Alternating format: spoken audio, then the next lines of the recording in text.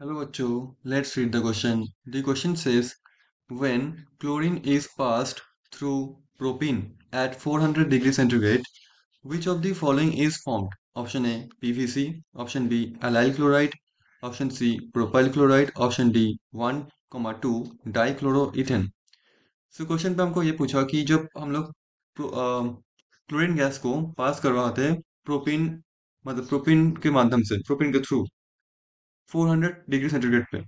इसमें कौन सा प्रोडक्ट फॉर्म होता है? PVC allyl chloride, propyl chloride या फिर one two dichloroethane so the key concept the key concept of this question is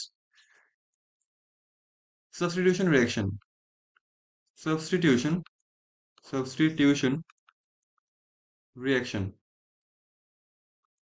so first of all हमको जानना होगा एग्जैक्टली रिएक्शन में होता क्या है। तो हमारे पास है propane let say okay first of all हमारे पास से रिएक्शंस में propene that is C H three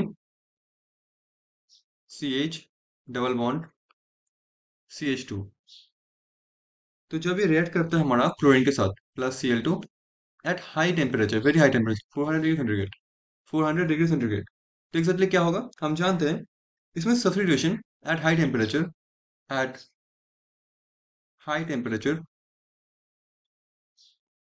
At high temperature. Substitution. Substitution. Uh, takes place. Takes place.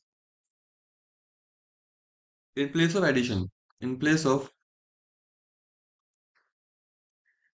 In place of addition in place of addition reaction तो क्या होगा हमारा? यहाँ पे सब्सटीट्यूशन होगा। और क्या बनेगा? C L C H two C H double bond C H two plus H C L ठीक है? ये बनेगा। और ये क्या है? ये है हमारा एलाइल क्लोराइड ये है एलाइल क्लोराइड